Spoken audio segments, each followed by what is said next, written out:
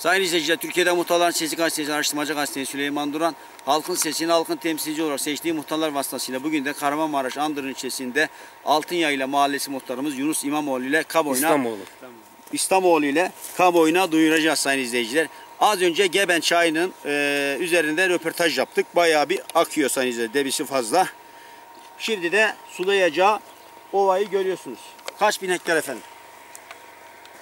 Geben'le beraber çok da yani bu civarda 55 bin civarında. 55-60 bin civarında 55-60 bin. düz ova sayın izleyiciler. Eğer burası Geben Barajı yapılırsa sulu tarıma geçecek ve vatandaş ne yapacak? Burada yılda en az iki ürün alacak. Doğru mu efendim?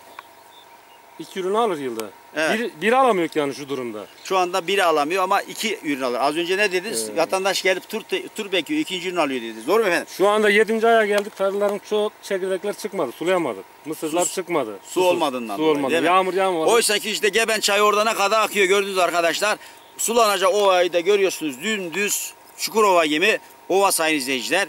Ee, 2018 yılında Erzurum'da Passinler ve e, Passinler Ovası'nı sulayacak Söylemez Barajı ve Alvar Barajı'nın temeline atılmasına vesile olduk. Tabi oradaki bizi destekleyen, e, sesimizi, halkın sesini duyuran Ziraat Odası başkanlarına ve tüm muhtarlara da teşekkür ediyoruz.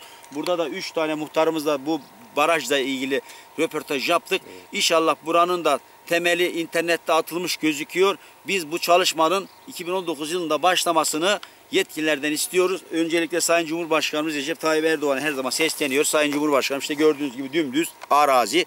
Burada da AK Parti sevdalısı e, Sayın Cumhurbaşkanımız Recep Tayyip Erdoğan sevdalısı bir memleket var. Doğru mu efendim? Doğru. İnsanlar burada yaşıyor. Onun için sulu tarıma geçmesi, bu insanların kalkınması bu baraja bağlı diyoruz. Muhtarımıza da Yani evet, Cumhurbaşkanımız söyleyince 2017'de biz baraj bu Sevindiniz sene, değil mi? e, bu sene atılır yapılır diyorduk. Burada demek ki takipçisi yok. evet.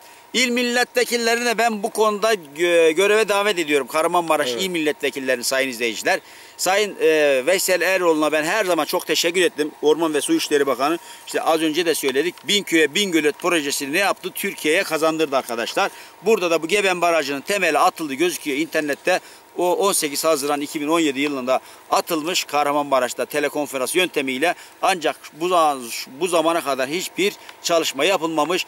Biz Geben Barajı'nın 2017 yılında inşaatının başlamasını istiyoruz. Muhtarımıza da Türkiye'de Muhtarların Sesi Gazetesi aracıyla sesini duyurduğu için teşekkür ediyoruz.